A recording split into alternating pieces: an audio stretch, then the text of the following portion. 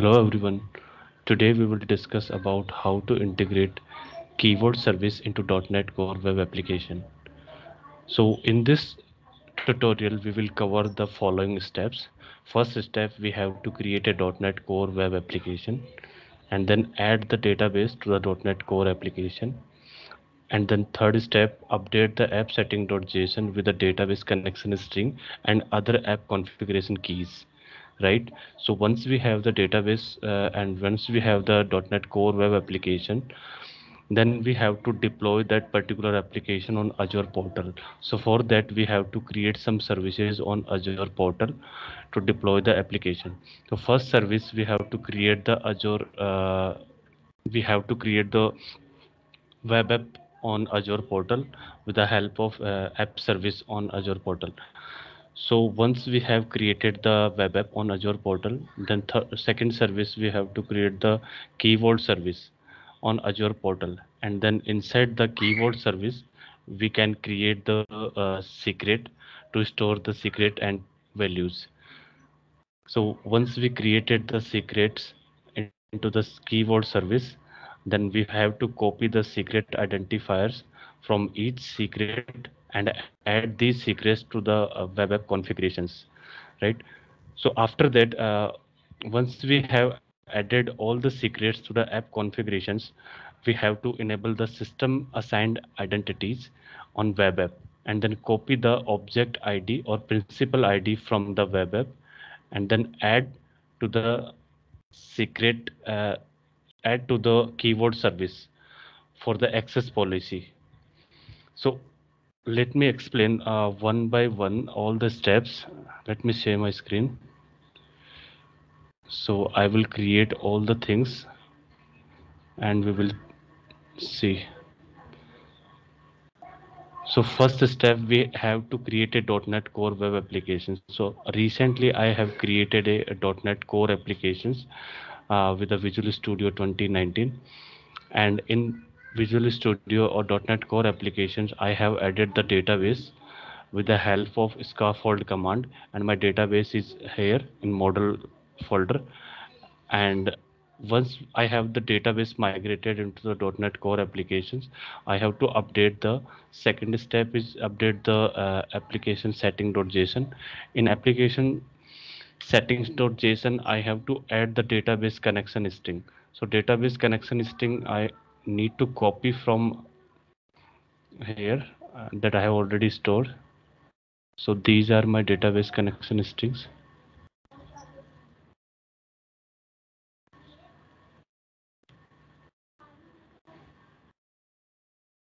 So all three are not a database, but one I have database connection string. Second one is the storage connection string. Third one is the event hub connection string.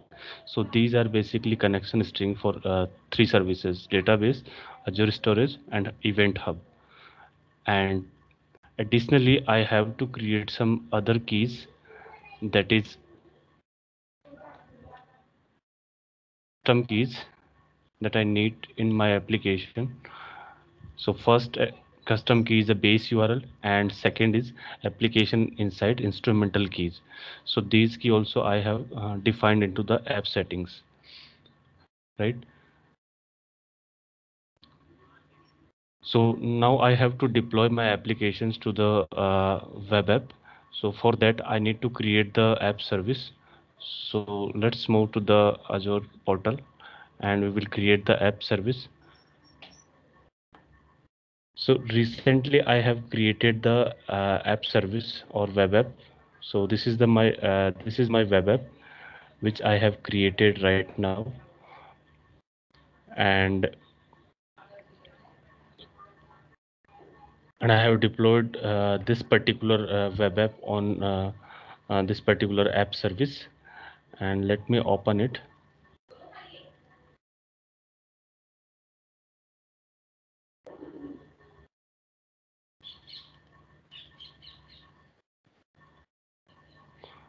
Yes it is working fine. So let's uh, let's see the uh, how the Key Vault integrated into this uh, web app. So as we have discussed we have to create the first service web app. Web app is already created and then second service we have to create the Key Vault service. So Key Vault service we have to move to the Key Vault and we, we can create the Key Vault service from here but in this case i have already created the Key Vault service. So you can create the new Key Vault if you don't have created. You can select the resource group and you can uh, put the name and all these basic information you can put and you can just create the Key Vault service. Once you have created the Key Vault service you will find the Key Vault service created. So uh, this is my, my Key Vault service created by me once i have the Key Vault service the third thing third step i have to add the secrets from here. So whatever secrets i have in my app setting.json file that i need to define in the Key Vault service. For the, for example i have application setting azure storage connection base url default connection azure hub connection string all five secrets i have right? So all five secret key i have to create one by one. First i have to create the default. So to create the secret you can click the uh, generate and import button and copy the secret key name and paste it here. And you can copy the value of this secret and paste it here. The error is like I have already a default connection key name but you can if you don't have then you will not appear this particular error. So in this way we can create the secrets. So for now I'm not going to create the new secrets because I already have created all five secrets and added one by one values inside the secrets like Azure storage connection, Azure storage connection, and its value already I have created. And similarly for the base URL, I have created the base URL. Similarly for the application insight instrumental key, right? So these are my secrets which I have created. So now I need to uh, add all the secrets to the my uh, web app configurations. So let's move to the web app configurations. So this is my web app.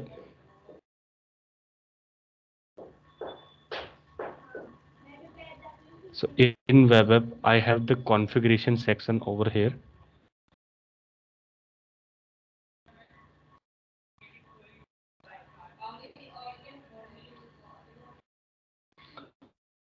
So we can find the two section here. First section for the application settings and second section for the connection strings. So whatever connection string we have in our app settings.json files we have to define in this particular sections. And whatever other keys or secrets we have like custom keys and applications insights whatever keys we have we have to define into the application settings to uh, if I need to create the uh, connection string just I uh, click on add new connection string and we'll copy and paste it here and we'll add the values. Now directly you can use the this particular value but as you know we have already created the secrets into the Key Vault service. So for respectively default connection string I have created the secrets. And so this is my current version of secrets. So I have to copy the identifier. So this is my default connection string secret. And I can add the value. So in this way I can add the values like uh,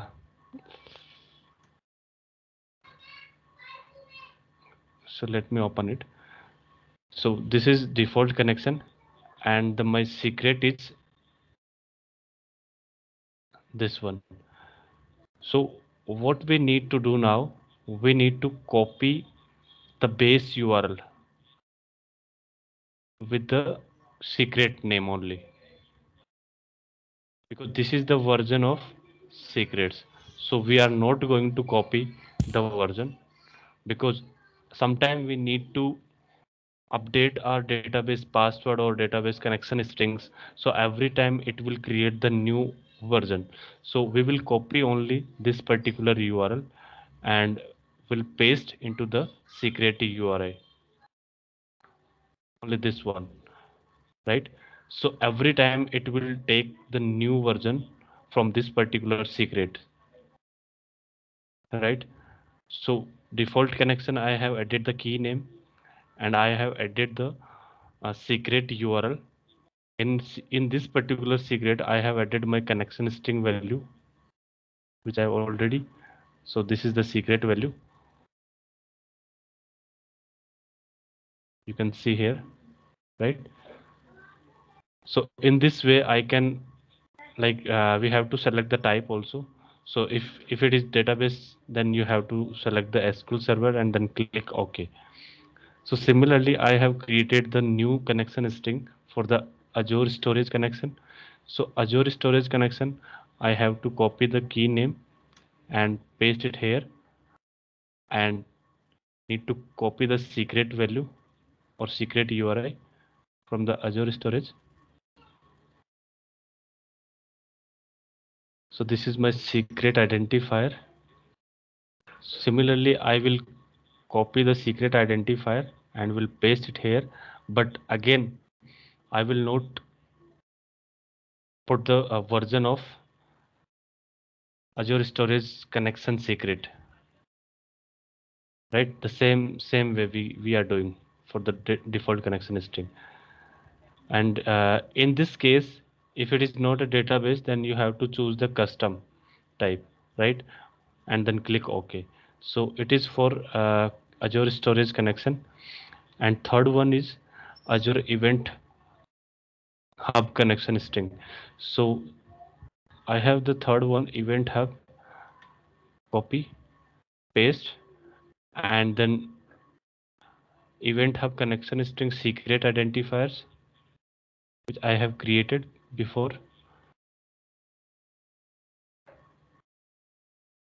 and the same thing I will not add the version of this identifier and you need to select the type again custom because it's not a database SQL server and then click OK Similarly, for the other application settings like uh, base URL. So for the base URL, like you have to create the this particular key. So in your app dot app, app setting.json, you have in this hierarchy like custom key and then colon and then base URL. So you can create the key in this order custom key base URL the name and then you have to copy the secret identifier from the Key Vault service we have created base URL. So for the base URL, I will copy the secret identifier and will paste into the values of the secret URI.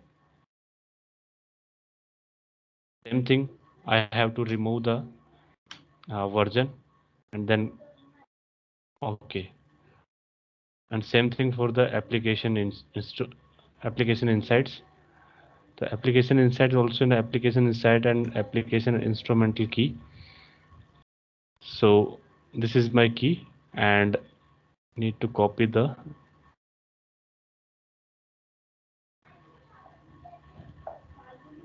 secret identifier from here.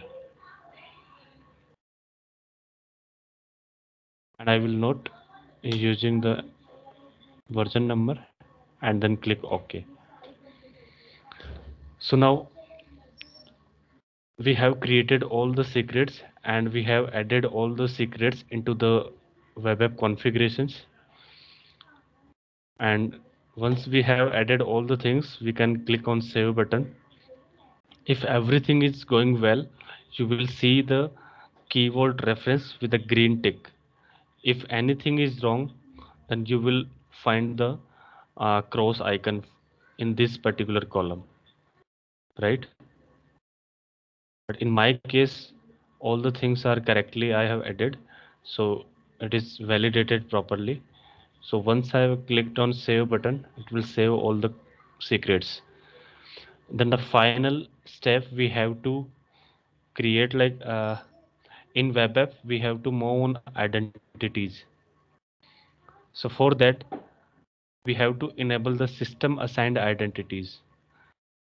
System assigned identities once we enabled you will see the object id or principal id so once you copy the object id or principal id so for this particular web app you have to provide the access policy into the Key Vault service so we have copied the object or principal id for this particular web app and then we have to move on Key Vault service and need to define the access policies. So you can add the new access policy. Secret management. You can give the permission get or list.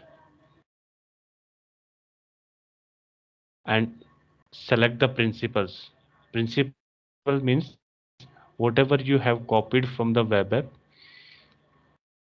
paste it here and you will find the web app or principles that you need to uh, provide the access policy right?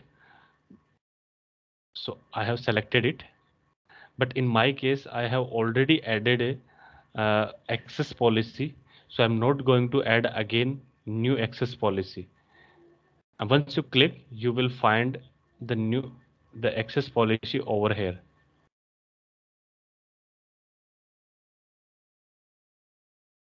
in this in this list you will find the your applications and your applications have the permissions to access the Key Vault service so these are the steps which we have to follow to integrate the Key Vault service into our web applications.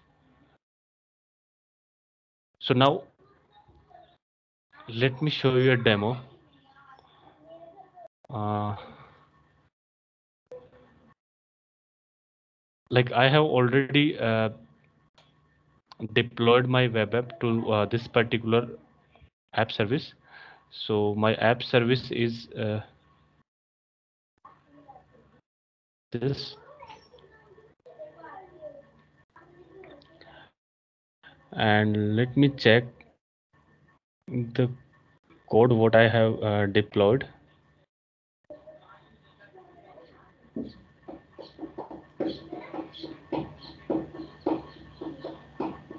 uh, now we will check the application settings.json file to make sure the all the secrets are accessing from the uh, Azure portal.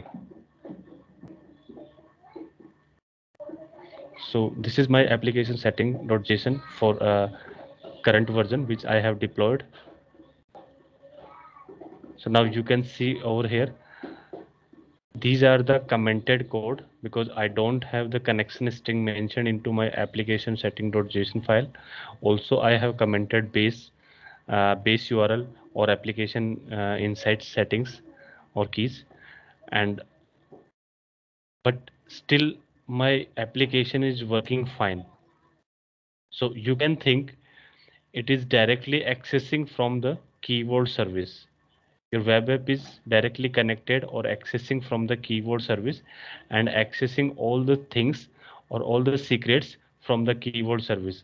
Default connection azure storage connection and event connection string and base url which i am getting from here the base url and the database is also my connected. I'm uh, already uh, connected with the database because this particular value is coming from the database. So my connection string sql connection string also connected with the uh, database from the azure portal. Right? So for the local system you have to enable all the things to debug the local locally. But while you are deploying this particular code on the uh, portal or cloud all the application setting.json files are ignored by default and these will be accessed from the Key Vault service from the configuration part right? So it's it's up to you. Either you want to comment all the things or you can keep all the things but by default it all the information will access from the configuration which we have defined into the web app from this particular area.